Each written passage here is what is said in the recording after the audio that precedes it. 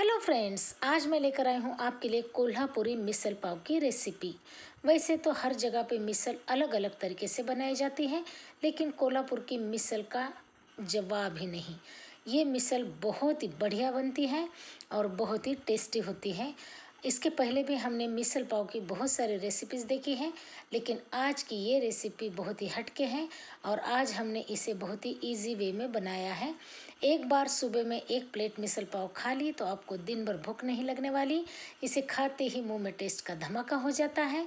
अगर कोई छोटी मोटी पार्टी हो घर में या आने वाले हो कोई मेहमान तो आप इस रेसिपी को बनाकर उन्हें खिला सकते हैं और पा सकते हैं ढेरों तारीफ़। बहुत ही टेस्टी, बहुत ही इजी और टेम्पटिंग रेसिपी को एंड तक ज़रूर देखें। और अभी तक मेरा चैनल सब्सक्राइब नहीं किया तो सब्सक्राइब करके बेल आइकन को ज़रूर दबाएँ। हेलो फ्रेंड्स मैं वैशाली और स्वागत है आपका कुक विथ वैशाली में। और अगर आपको मेरे रेसिपीज़ पसंद आती हैं तो इसे लाइक करें शेयर करें और कमेंट ज़रूर करें। तो चलिए शुरू करते हैं आज की रेसिपी और कोल्हापुरी स्टाइल मिसल पाव बनाने के लिए सबसे पहले तो हमने कढ़ाई को गर्म करने रख दिया है और उसमें मैंने डाल दिया है दो टेबलस्पून ऑयल।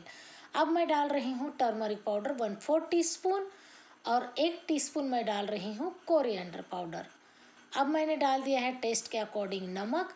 अब सभी सामग्री को मैं ऑयल में अच्छे से भून लूँगी, क्योंकि इसमें हम पकाने वाले हैं मोट, यानी कि यहाँ पे स्प्राउटेड मटकी मैंने डाल दी है एक बाउल।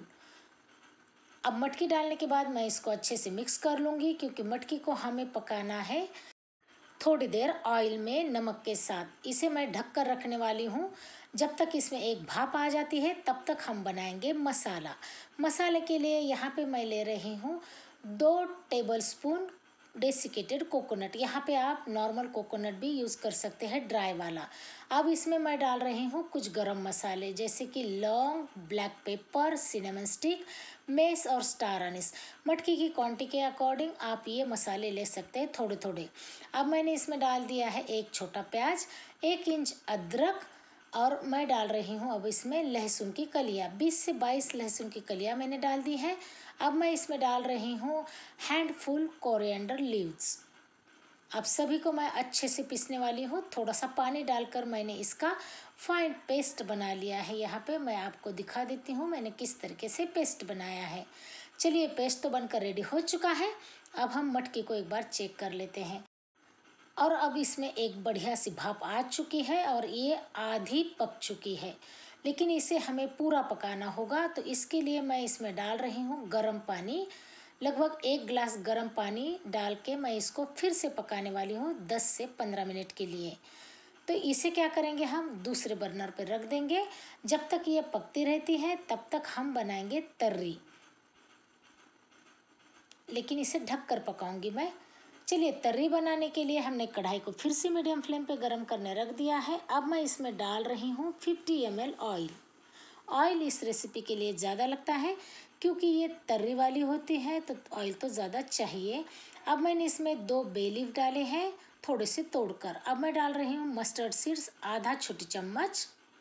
अब मैं डाल दूँगी ज़ीरा, आधी छोटी चम्मच। अब मैं इसमें डाल रही हूँ एसिफोइटिडा दो पिंच। अब सभी को मैं अच्छे से मिक्स कर लूँगी और ज़ीरा और मस्टर्ड सीड्स को क्रैकल होने दूँगी।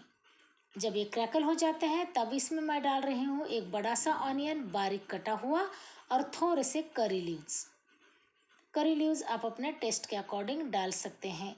दोनों को अच्छे से फ्राई कर लूँगी ऑयल के साथ, जब तक कि ये प्याज हल्के भूरे ना हो जाए। या फिर ट्रांसलूसेंट ना हो जाए। लगभग चार से पाँच मिनट में प्याज बढ़िया से ट्रांसलूसेंट हो जाते हैं। अब यहाँ पे प्याज रेडी हो चुके हैं। तो अब हम इसमें डाल देंगे दो टमाटर मीडियम साइज़ के बारीक कटे हुए। अब टमाटर को भी हम ऑयल के साथ बढ़िया से फ्राई कर लेंगे। जब तक कि ये टमाटर गल नहीं जाते, हमें इसे फ्राई करना होगा। लेकिन टमाटर जल्दी गल जाते हैं। जब हम उसमें नमक डालते हैं तो हमने नमक डाल दिया है। अब नमक डालने के बाद इसके साथ टमाटर बहुत ही बढ़िया पक जाते हैं, बहुत जल्दी पक जाते हैं। चार से पाँच मिनट में ही टमाटर हमारे गल जाते हैं। यहाँ पे ऑयल भी सेपरेट हो रहा है और टमाटर भी गल चुके हैं। तो अब हम इसमें डाल देंगे पिसा हुआ मसाला। ये मसाला हमने पूरी तरह से कच्चा पिसा है। इसमें हमने कोकोनट भी कच्चा ही डाला है, लेकिन ड्राई कोकोनट का यूज़ किया है। आप साबुत ड्राई कोकोनट का भी यूज़ कर सकते हैं। इसमें मैंने डेसिकेटेड कोकोनट यूज़ किया है। तो आपके पास जो कोकोनट अवेलेबल हो, उसे आप इस मसाले में यूज़ कर सकते हैं। और अब हम ये मसाला तब तक भुनेंगे जब तक कि इसका कच्चापन नहीं निकल जाता, क्योंकि इसमें अदरक, लहसुन कोकोनट और प्याज हमने कच्ची यूज़ की है तो इसीलिए हमने इसका कच्चापन पूरी तरीके से निकालना होगा। हमने तब तक मसाले को फ्राई किया है जब तक कि इसका ऑयल सेपरेट नहीं हुआ है। अब हम इसमें डाल देंगे ड्राई गरम मसाले। आधी छोटी चम्मच डाल दिया है टर्मरिक पाउडर। अब मैं डाल रही हूँ रेड चिली पाउडर एक चम्मच। मैंने दो बार डाला है, आधा आधा चम्मच, इसीलिए एक चम्मच डाल दिया है हमने। अब आधा छोटी चम्मच मैंने डाल दिया है गरम मसाला। और आधा चम्मच मैं डाल रही हूँ देगी मिर्च पाउडर। ये तीखी नहीं होती, लेकिन ये तर्री को कलर बहुत बढ़िया देगी। अब सभी मसालों को हम फिर से तीन से चार मिनट के लिए फ्राई कर लेंगे, जब तक कि इसका कच्चापन नहीं निकल जाता और इसमें बढ़िया से कलर नहीं आ जाता। तो आप यहाँ पे देख सकते हैं कि कितना बढ़िया कलर आ चुका है मसाले में। अब इस मसाले को हम पहले पकाएँगे। अब हम इसमें डाल देंगे लगभग एक कप पानी। एक कप पानी में मसाला बहुत ही बढ़िया से पक जाता है।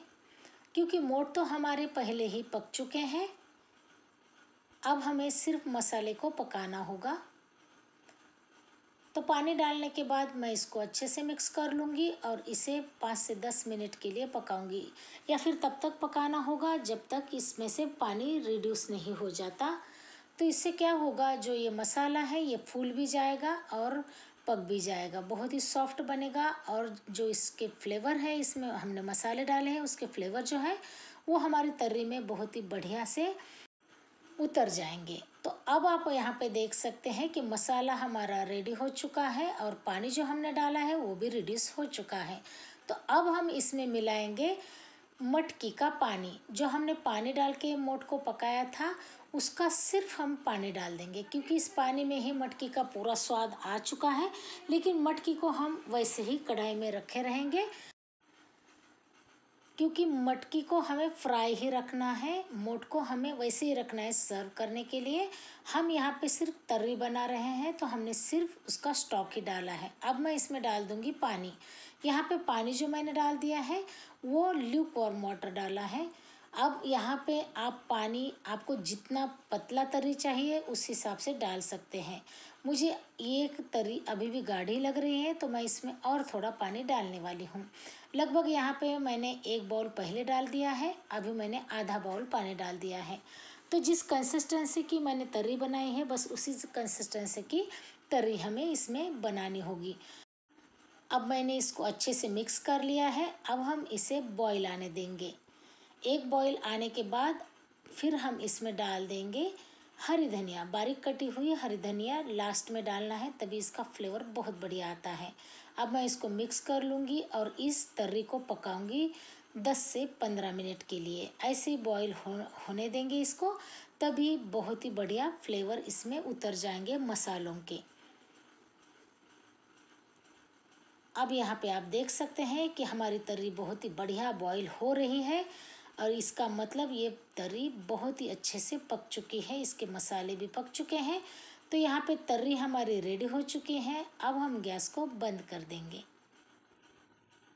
और इसे गर्मा गर्म सर्व करेंगे। तो इसे सर्व करने का तरीका भी मैं आपको बता देती हूँ। सर्व तो हमने सारी चीज़ें प्लेट में पहले से ही कर दी हैं। अब हम सबसे पहले तो एक छोटी प्लेट में डाल देंगे फरसान यानी कि नमकीन। उसके ऊपर ड्राई मोट जो हमने पका के रखी थी कढ़ाई में, उसको आप अपनी मर्ज़ी के हिसाब से जितना खाना हो उस हिसाब से डाल सकते हैं। और सबसे लास्ट में हम उसके ऊपर सर्व करेंगे गर्मा गर्म तर्री।